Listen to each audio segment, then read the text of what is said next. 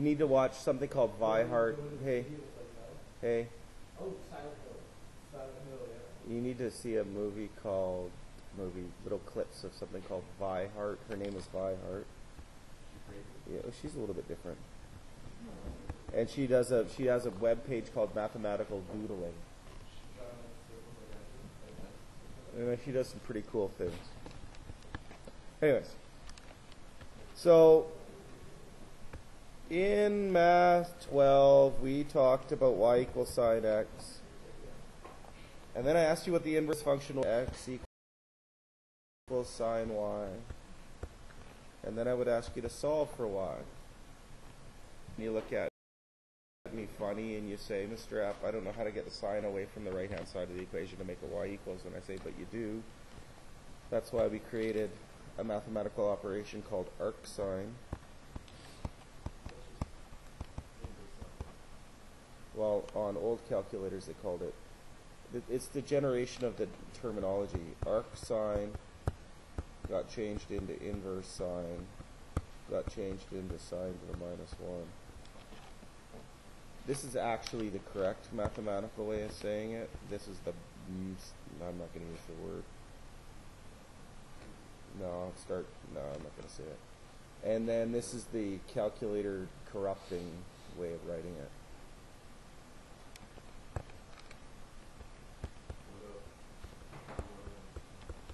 Yeah, that's exactly why I don't like that notation. Because people think that that's 1 over sine. No, that's not, it's not cosecant, right? And that's the problem. People think it's cosecant. So arcsine and sine cancel, and you're done with arcsine x equals y. Okay. So if I ask my calculator to graph this, I'm going to graph it and then say, you have to, you know, you know what, I don't need you to get your calculator out. So what I so not that, that function, graph y equals sine x. But graph it in such a way, uh, we didn't talk about, did we talk about one-to-oneness in 1.5? Did we or didn't we? One to oneness. Okay, we. I'm going to graph the sine graph in a weird way. You're going to go, okay, I recognize that part of the sine graph. And then I'm going to graph this part of the sine graph. Pi over 2, negative pi over 2, positive 1, negative 1. Now, we agree that that's not the entire sine graph. Because the sine graph goes on forever and ever and ever. But, if we switch x and y and draw this graph, this function, it, th- sorry, this graph is then a function.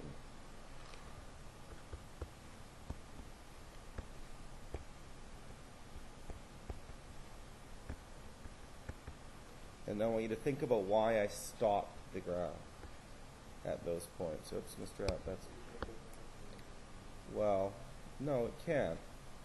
It's just why did I choose only to stop it here? Like, why didn't I go past?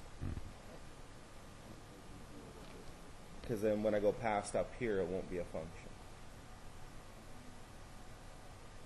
Okay? So the domain of the graph, of the arcsine graph, is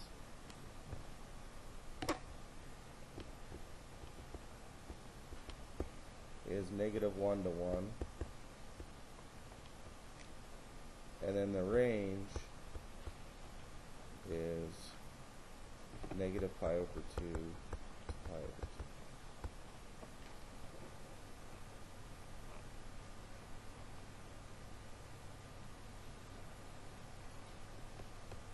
And you're going to say to myself, self, is that important?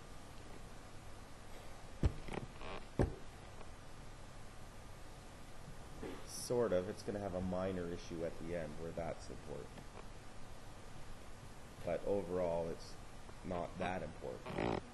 It's important to Math 12. Like when we when we were working on problems, and I asked you to find um, the arc sine of point 0.5, and and I was always having this big discussion with you folks about why your calculator only gives you first and fourth quadrant answers, and it actually has to do with how the graph here is drawn.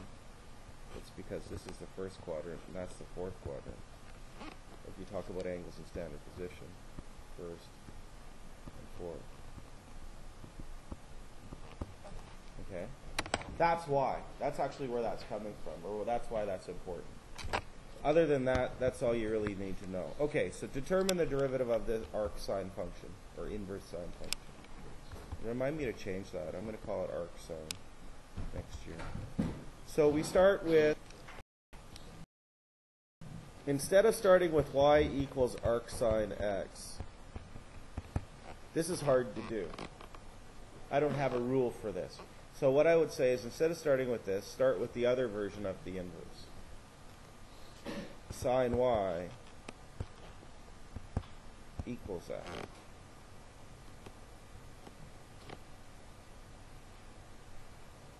Okay? They mean the same thing. So you look at it and go, oh, determine the derivative. Well, so take the derivative of this. What's the derivative of sine y? Cos y times y prime. Good.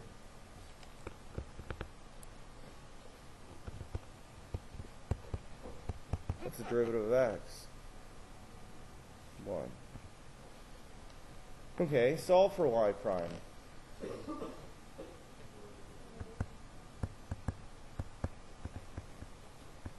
Now oops, y. Now what I would like to do is to have a formula that only has x's in it. So, sorry, I'm interrupting. So I'm going to go back to the Pythagorean identity. Cos squared plus sine squared equals 1. So we're starting anew. So what we need to do is just sort of go, okay, that's doing some math 12 stuff here. Solve for that, solve that equation for cos y.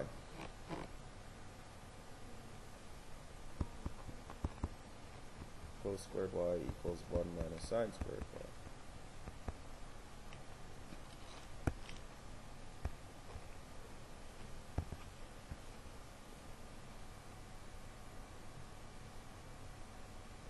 Take out the sine squared y and put in. I highlighted it, kids. x squared.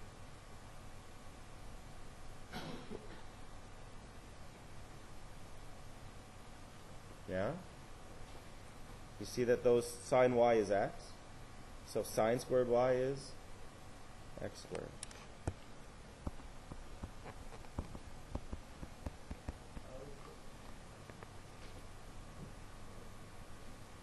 Solve that equation for cos y.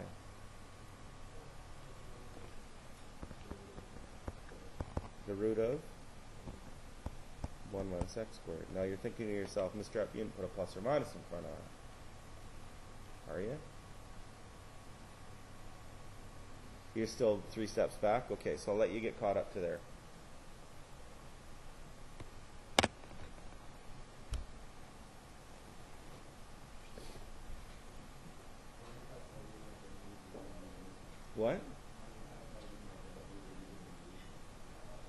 None of them. I'm just going to give you the rule.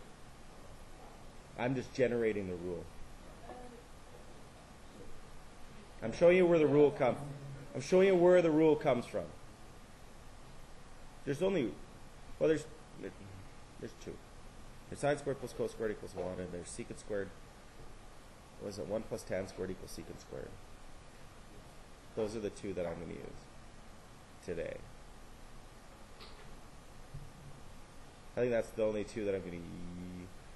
Mm, I use a cosine double angle identity in chapter six, but you're not going to remember it when I get there, anyways. You guys caught up? Oh, clear with what just happened? Okay.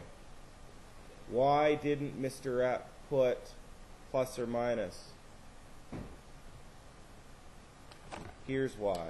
I would like you to draw the cosine graph and only draw it. I want you to draw the cosine graph from negative pi over 2 to positive pi over 2. Draw the cosine graph just over that small domain. Thanks. Mr. F, it's always positive over that domain. It continues on, but that's not what we care about. It's because the domain of the question we're working with is positive. Right? So that's why it's just positive. So take out the cos y in the derivative statement and put in. That's exciting. y prime equals 1 over the root of 1 minus x squared. So that's your formula. You can copy it into the formula box. The derivative of arc sine of x is 1 over the root of 1 minus x squared.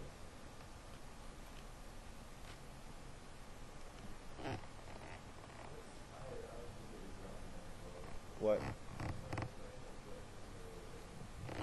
Arc sine is inverse sine. It it takes fractions and gives you angles. Sine takes you takes angles and gives you ratios. Arc sine takes angles and gives you sorry, arc sine takes fractions and gives you angles.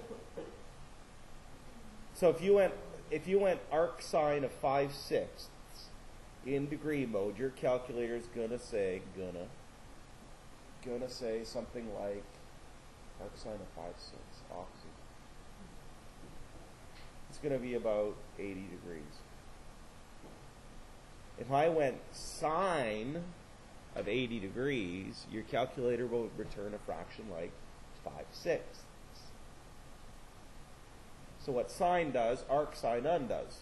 They're just the opposites of each other. Like square root does, squaring undoes. Right? Like logging does, exponentizing undoes.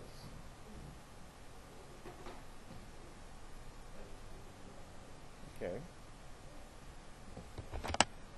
What's the chain rule say?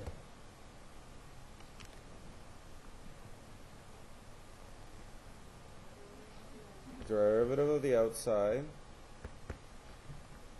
times the derivative of the inside.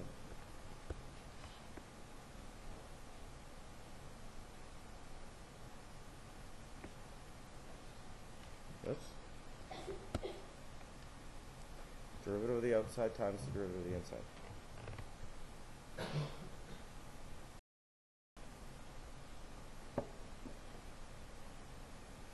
Oops. Is there an example at the bottom? Oops, went too far. Okay, so what's so what? Oh crap! Okay, go home, Mister. Just use, and that's all, all it is. Determine sine to the minus one of x. Well, we could call this. Why are you you doing this? X squared. So what's u prime while we're here? 2x. So the derivative of arc sine of x squared is 1 over the square root of 1 minus x of u squared times u prime.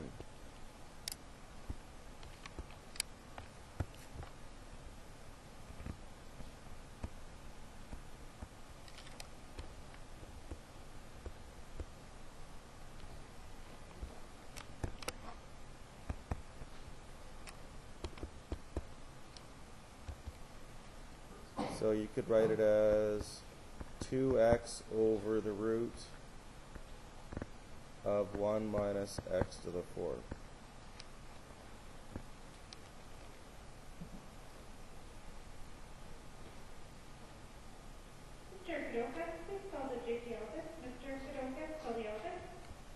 How's that?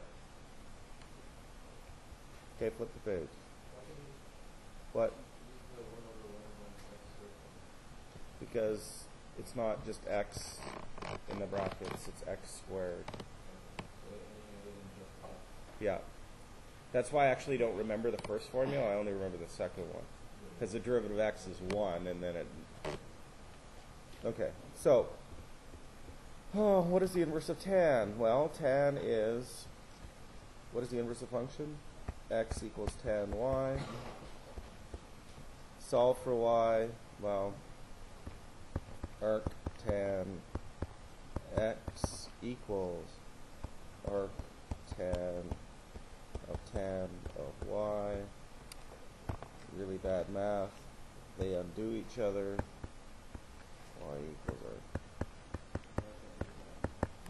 Well, they don't really cancel, but it's close enough to say that they cancel. They're opposite operations. They're not opposite. Like it's like squaring and square rooting. They don't cancel each other, but they remove each other. You know what I mean? Like, like when you add two to both sides of the equation, you have x minus two equals eight, and you add two to both sides of the equation, you're creating a zero pair. They do cancel each other.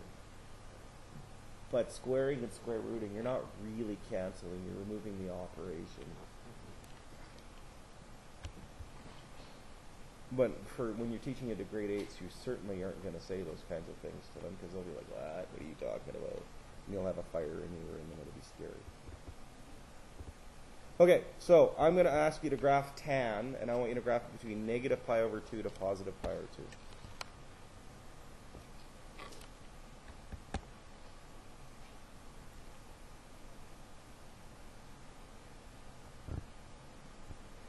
2. Negative pi over 2 to positive pi over 2.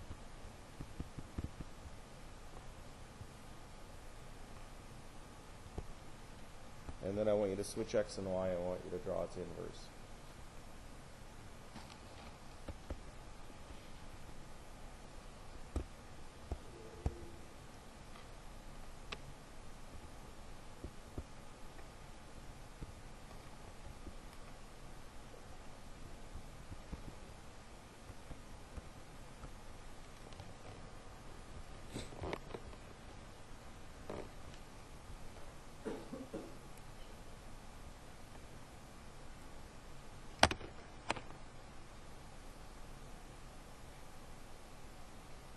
So this proof's going to start, or this formula generation is going to start exactly the same as the previous page.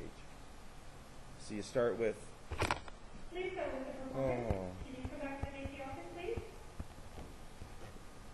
you start with x equals tan y. And then I'm going to ask you to take the derivative of it.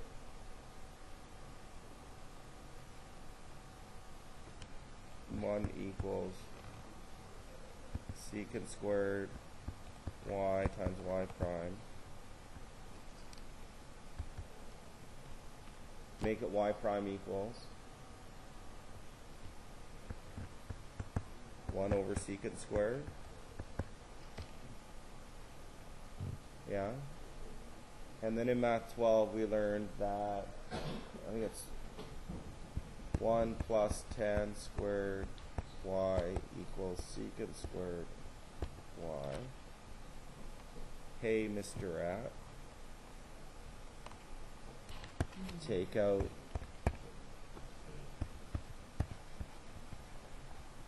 take out the tan squared and put in x squared. And you're done. Because what's y prime? Because you're, or maybe I'll do this. You're done.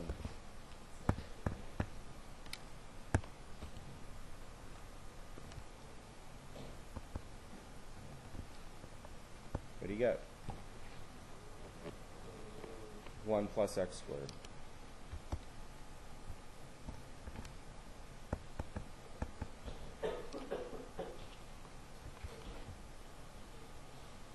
So you can fill in that one, 1 over 1 plus x squared. And then what's arctan of u? Or the derivative of arctan of u, I guess. 1 over times u prime. So I only remember the ones on the right. I don't remember the ones on the left. It's extra formulas. Lord knows we have enough. Okay. So, if a particle moves along a line so that its position any time t is s of t equals tan root arc tan root when the particle equals t. So s of t equals arc tan. So, so I would start right now and say u is the square root of t. Oops. So what's u prime? 1 half u to the negative 1 half. So you could write it as 1 over 2 root u, or t, sorry. I got a t, silly. t, t. So s prime of t. All you gotta do is drop it in the formula now.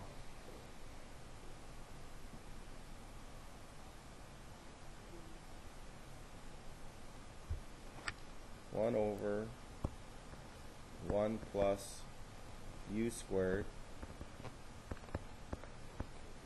times u prime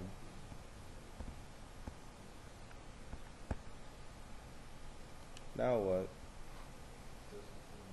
Throw 16 in, and you're finished.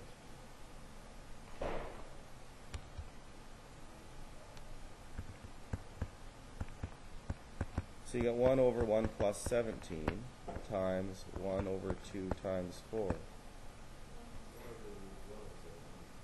7, oh, I'm an idiot. I got ahead of myself. 1 over 1 plus 16 times 1 over 2 times 4. So 1 over 17 times 1 over 8. I don't know. What? 1, 1 over 136. Meters per second, feet per second, whatever the units are. Who cares? Didn't say, so we're not going to worry about it. Units squared per, no, units per second squared. Okay, so find an equation for the tangent line to the graph. y equals tan x at the point, negative one fourth. Okay. So what's the derivative of tan? Secant squared x at the point negative pi over four comma one. So what we need to do is figure out our m value. m is equal to uh, secant squared negative pi over 4. Now I suspect that the provincial exam or the AP exam is still going to make you memorize your special triangles. So I'm going to treat this as you can't reach for your calculator right now. So here's pi over 4, and this is 1, and this is 1, and this is root 2. So cos of pi over 4 is 1 over root 2 and then negative pi over 4 puts you in the fourth quadrant. Cosine is positive there. So secant of negative pi over 4, ooh, you know, root 2 over 1.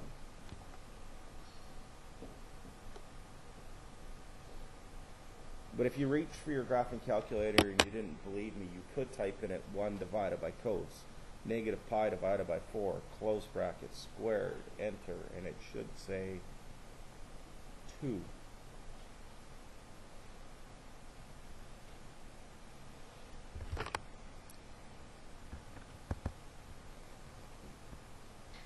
Root 2 over 1 squared, or 2. So the equation of the tangent line, tell me the equation of the tangent line. y minus, or y plus 1 equals m x plus pi over 4, and you're finished.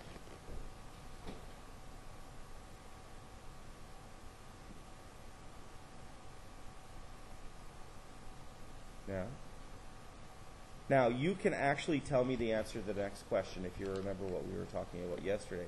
But if you're not confident with it, let's pretend let's pretend that we didn't do the first page on 3.8. You want to tell me what it is? Okay, okay. So the derivative of arctan is 1 over 1 plus x squared. What are you going to put in for x? Negative 1. 1 over 1 plus negative 1 squared. I kind of expect you to go, hey, Mr. App, there's a property here. If I know the original function, I know the inverses. At. But if you don't, let's let's pretend you're having a moment, right? You, then you say, okay, Mr. F, I can take the derivative of arctan, no problem. That's easy. Substitute 1 in for x, you get a half. And lo and behold, you get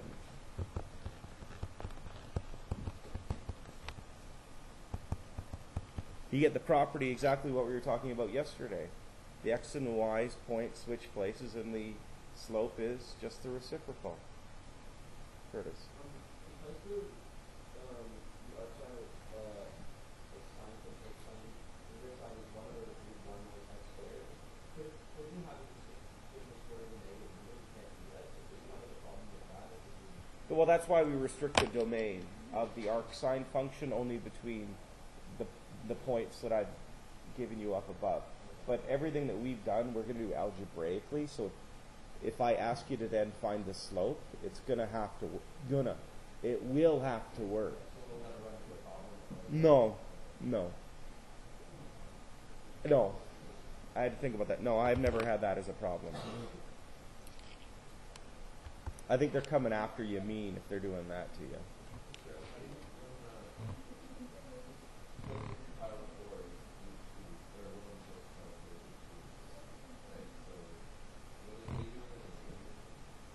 You're just go in the other rotation. You're going the other way. You're going down instead of going up.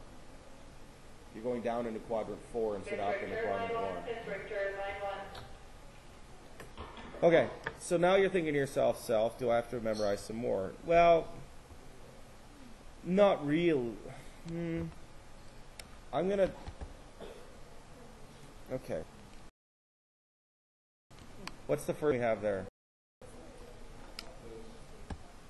Okay, at, at their sine, arc sine formula. Tell me what the arc sine formula is.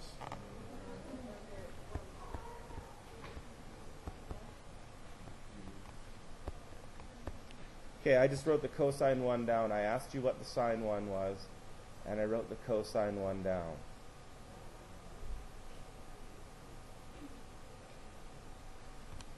Okay, what was the tan one? What was the tan one, kids? 1 over 1 plus x squared. Okay, well, watch this one now.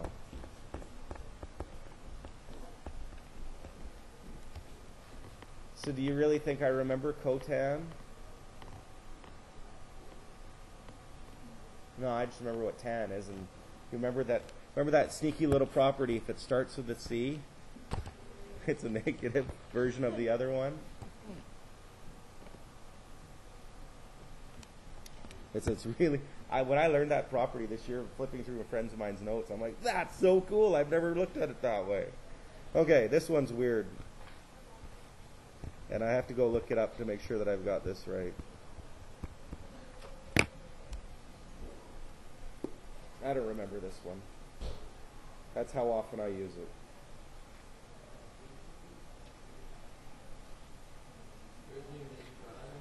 Oh yeah, there's a u prime after that.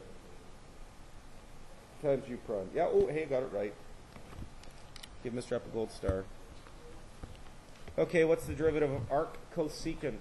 Because you know what? There are times in my life that I've had to use arc cosecant. About that many times.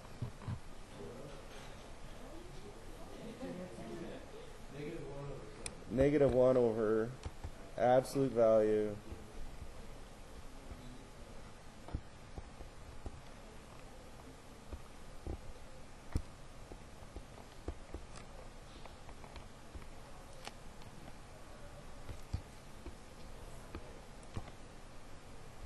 So if it starts with a C, just throw a negative sign in front of it. Copy the associated formula. So do you have to remember six? No, you only really have to know two. Uh, you can even tell me which two I think are important.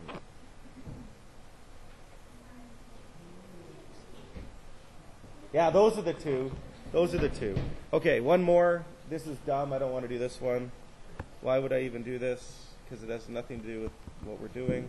So y equals, I don't know.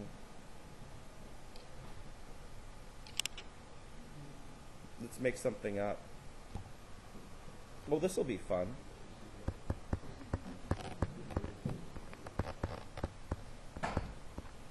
There. That's evil. Cha-cha-ching. Chain.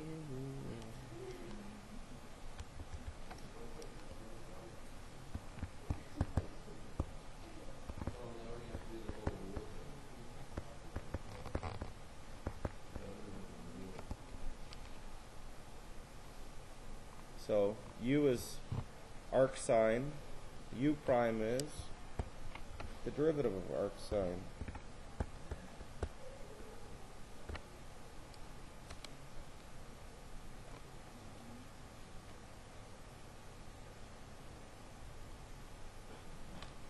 There you go. How's that? What? Well, times 1 if you want. Because the derivative of x is 1. There you go. That's it. That's all. There is no more.